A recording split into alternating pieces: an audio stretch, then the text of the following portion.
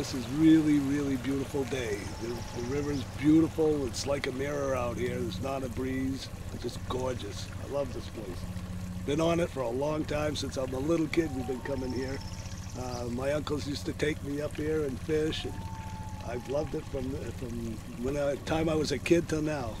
This is a great place to be. We have nesting eagles up here annually.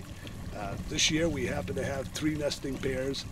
Uh, we've got one nest that's easy, easily accessed. It's got chicks in it right now, and uh, we'll be going down there today to see it.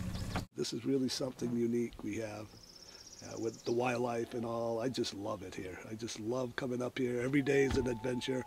This river has so many different faces. It's unbelievable. Every day I come out here, the weather's different. There's something else happening, or I see moose or eagles and and everything like that, otters and muskrat. It's just a great place.